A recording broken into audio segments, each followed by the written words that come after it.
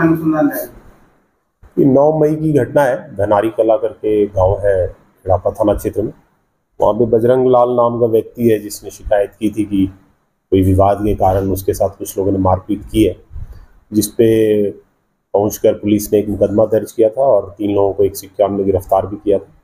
और इसके बाद भी जिस गुट ने मारपीट की, उसने लगातार तीन और घटनाएँ की, रास्ते में मेडिकल कराते जाते समय भी गाड़ियों का पीछा करना, टक्कर मारना, फिर गाड़ियों के साथ तोड़ फोड़ करना, इस तरह की घटनाएँ लगातार उस गुट ने की जिसको लेकर चार मुकदमे लगातार दर्ज हुए।